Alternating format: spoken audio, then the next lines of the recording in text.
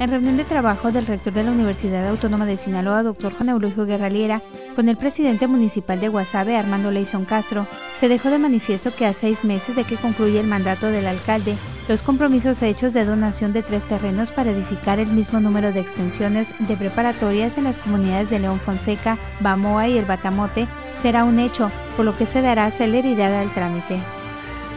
En una breve charla en la cabina de la radio universitaria Vasos Comunicantes, ubicada en el edificio de rectoría, el alcalde de Guasave, Armando Leison Castro, reconoció el papel trascendente que la universidad ha tenido en su municipio, en donde en el año de 1971 solo contaba con una sola preparatoria y hoy en cada espacio que la sociedad lo demanda, la oferta educativa ha sido atendida. Por ello, el interés de redoblar esfuerzos y concretar la donación de tres terrenos en las comunidades de León Fonseca, Bamoa y El Batamote, hecho que dijo se atenderá antes de que concluya su mandato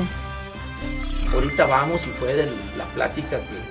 que, se dio en el entorno de la reunión temprana con el amigo rector, de darle celeridad a un trámite que ya está muy avanzado para poder dotarles de terrenos en John Fonseca, en Mamoa y en Batamote, que van a ser tres extensiones de preparatoria que la misma sociedad te está demandando porque hay mucha oferta y los chavalos de esa zona pues ahorita se tienen que trasladar a otras partes o toman otras eh, alternativas, ¿no? Pero creo yo pues que en el tiempo que nos resta de la administración, poder eh, consumar pues esa gestión y poder de alguna manera como municipio a través del cabildo, que a mí no me queda la menor duda que todos quienes lo conformamos, el síndico procurador, los regidores y su servidor, pues sabemos, habremos de aprobar de manera unánime pues la, la entrega de, esos terrenos. El rector de la Universidad Autónoma de Sinaloa en su intervención destacó que la educación es un elemento primordial para el progreso de cualquier sociedad, por ello el empeño que la institución ha puesto en cada una de las regiones que componen el Estado para llevar diversidad de oferta educativa y ser un elemento detonante para el crecimiento de las zonas. De que el mejor camino para llegar al progreso aparte de otros rubros que se tienen que cubrir como salud, seguridad, vivienda, eh, la situación laboral, pues es eh,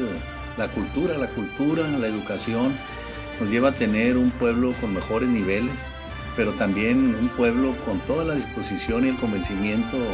a practicar en los hechos lo que es eh, la paz, la convivencia y el respeto por la vida propia y ajena. Enfatizó que se ha trabajado de manera general con cada uno de los alcaldes de los municipios que conforman Sinaloa y en especial con el gobernador Mario López Valdés, por lo que expresó. Que es de caballero reconocer eh, con la suficiente humildad cuando alguien te apoya. Y bueno, él, él lo ha hecho en la universidad. El día de ayer estuvimos con el gobernador electo, con Quirino Ordaz Cope, en la idea, y él así lo manifiesta, de hacer equipo por la universidad, nosotros hacer equipo por el proyecto más importante que es Sinaloa, trabajar en lo que nos toca